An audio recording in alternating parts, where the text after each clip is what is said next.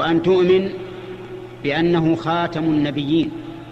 كما قال الله تعالى ما كان محمد أبا أحد من رجالكم ولكن رسول الله وخاتم النبيين.